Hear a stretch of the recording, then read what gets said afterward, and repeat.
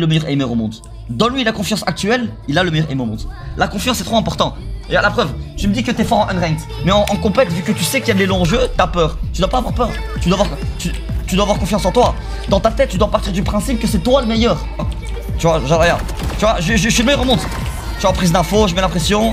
Tu vois, dans ma tête, moi quand je joue, je suis le meilleur au monde. Vraiment. Tu vois, genre, je réfléchis pas. Instant, tu joues comme ça.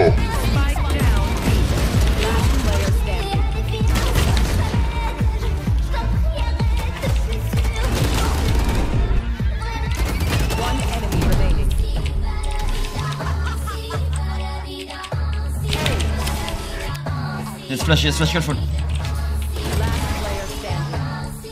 Attention.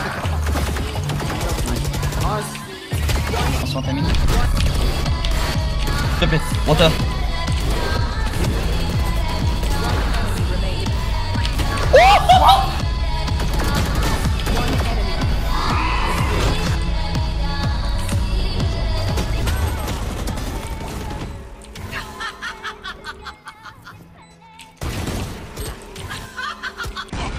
oh